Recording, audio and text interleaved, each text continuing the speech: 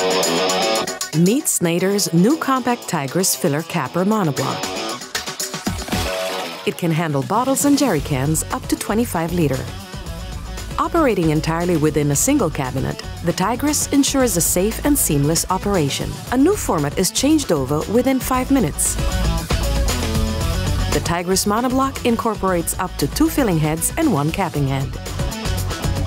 Dosing is managed with a scale or with flow meters. A set of sensors recognizes the exact position of the container and manages the speed of the conveyor to position the container exactly under the filling nozzle without mechanical stoppers.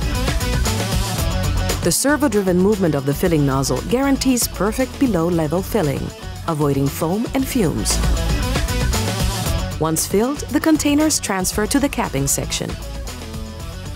A servo-driven capping head guarantees every closing torque, up to 30 Newton meter. Monitor the exact torque in real time from the operator panel.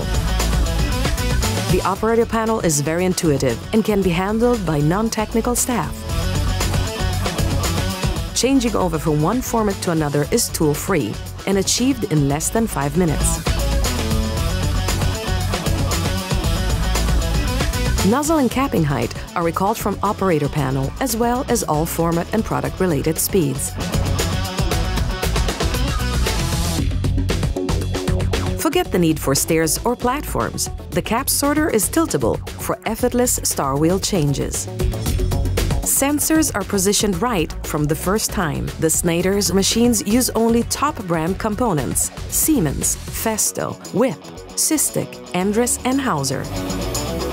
The Tigris monoblock is built on a stainless steel chassis with integrated electrical cabinets and hardened glass doors and panels, resulting in a clean design.